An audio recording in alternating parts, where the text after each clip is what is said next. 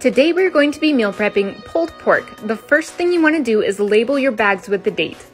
To each bag we're going to add 1 half cup of barbecue sauce, 1 half cup of chicken stock, 1 tablespoon of apple cider vinegar, half a tablespoon of olive oil, 1 tablespoon of honey, half a tablespoon of brown sugar, garlic powder, granulated onion, salt, and pepper.